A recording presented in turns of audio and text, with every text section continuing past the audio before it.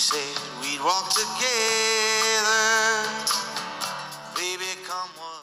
I can't say good morning because it's not morning, it's evening, but uh, we got up so early this morning at Christine's and we really would just rush to get out of the house a little bit. Didn't do the book, as we call it. So, but essentially we started just on the other page. Um, but she took us back to, to Danielsville where she picked us up. And then pretty much as you see, straight across today, but all rock, absolutely all rock. 15 miles of rock. And um, and the original plan was to do 11 miles because we didn't know what time we'd get on the trail. Turns out we got on at 6:30, so we decided to do the whole 15. Got to Wind Gap and uh, staying and not at the Gateway Hotel, but on the lawn in front of the Gateway Hotel. Went going into the day, right? And then we'll uh, catch you all up on the details with the end of the day. So here we are. We're saying goodbye. and we're heading out back to Back to the- Pennsylvania. yeah. Back at it, yeah. Okay. It's uh, Yay. just about quarter And then to I'll see you again to Yeah, they're going to join us yeah. in Four. Branchville in four days and hike with us for a little while. So you get to see Christine and Todd again Yeah, we didn't show much of Todd, but we'll get them on Wednesday. next time. Yeah. Thanks, All Christine. right, You're welcome. Thank you. All right. The start's a pretty trail. Yeah. Let's hope it stays that way and it's kind to us. Sun's coming up. There's another hiker out there already. Yeah, we've had two days off again, so we got to reintroduce our feet to the to the trail. Yeah, Pete's nice. Only 11 miles today. You know, two days off and we're having a hard time figuring out how to walk on all this again. this is really nice. This one has rock steps going all the way up. We come across a lot of stuff on the trail. This one's pretty funny. This shoe's just sitting on a rock with rocks in the shoe just to make sure someone will see it if they lost it. And that looks like one heavy shoe. It's my good morning. Now this time I walked right in front of him and at least took the quick hop around before I realized he was there. I jumped forward instead of backwards. Fortunately, Yes, thank goodness. Look at he's moving. My gosh, we're just snake attractors. Here's Pete in his new chair. Looks comfortable. living a good life. He's living a good life. I'm on my Tyvek. I cut a new piece from, since we had a different tent shipped. So I cut a wider, shorter piece. Last one was too long and skinny. And we're going to open the snack pouch up. And take out this delicious trail mix that Christine got us. Look at my gloves. I've only had them on for six miles. That tells me that my pole handles are filthy. So, how was your first break in your chair, Pete? Uh, so far, the chair is worth the extra pound. All right, there you go. Much more comfortable on the breaks. Absolutely. We even sat there talking to people for quite some time on the trail. But yeah, too long, but We're having a short day today. yeah, so six okay. people. Okay, see ya. Six miles in from Lehigh Gap, well, six and a half, and we're getting a break. I really hope that it does stay like this. This is wonderful. Well, maybe not. It might already be gone. Bummer. Second one in one day, at least his head is off the trail, and we're just going to walk around the back. Giving him a wide berth. There's really nothing to film today. We have no view. We're in the middle of the woods. So, just to let you know. Well, we made it to Leroy Smith Shelter.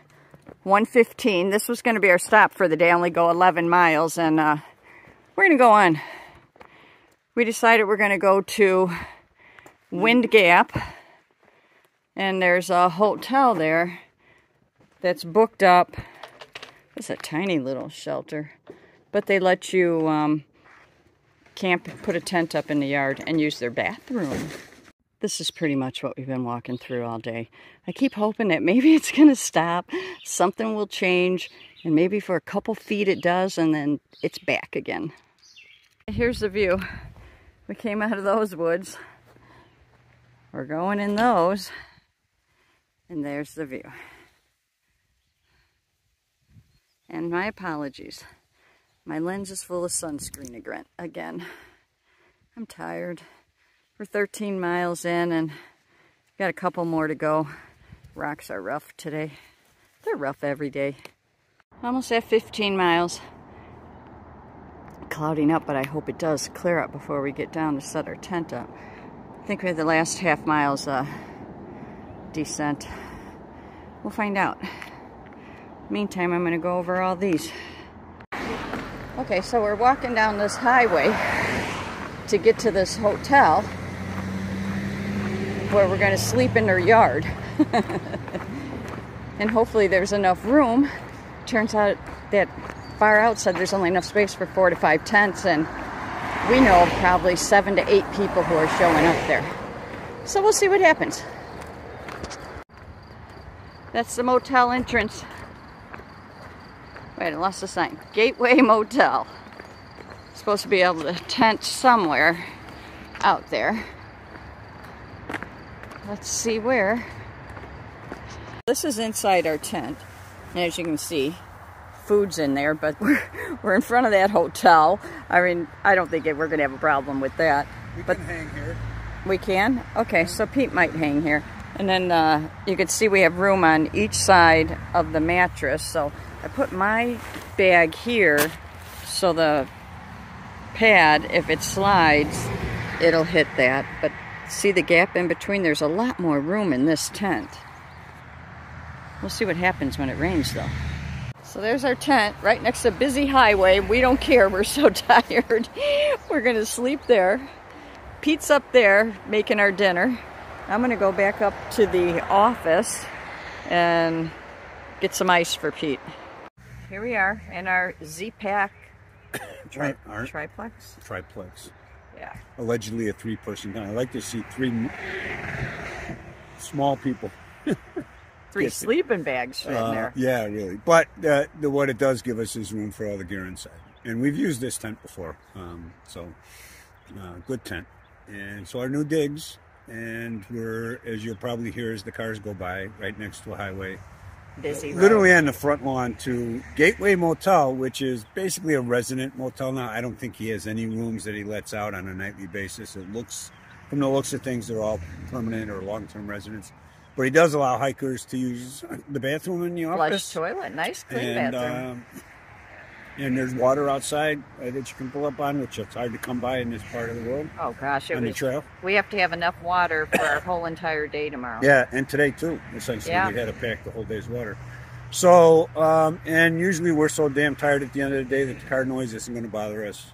And so it doesn't right last all it. night anyway on these roads. So uh, our dinner's cooking, and uh, we're going to get ready to eat, and then call it a night. What, Yeah. what do you got? I don't think I have anything. not- I had something. I can't think of it. It's, Not a whole lot today because it was just it was an all rock trail. is a snaky day. uh, snaky day as you saw, but uh, really nothing but rock. I mean, just a flat Yeah, trail 15 with a miles lot of rock, rock. and um, and we we And Pete a, has an injured foot. and Lisa's just getting over her injured feet. Yeah. Oh, that's what I should say. My Yeah. feet felt the best they have ever felt since I had my new shoes today. Yeah. The blisters are still healing, but not painful. yeah. So now I have to take care of Pete. That's why I got him um, a bag of ice. okay. All right, We're good? All yeah, right. I think we're good. Okay. Talk to you tomorrow. All right. Good night.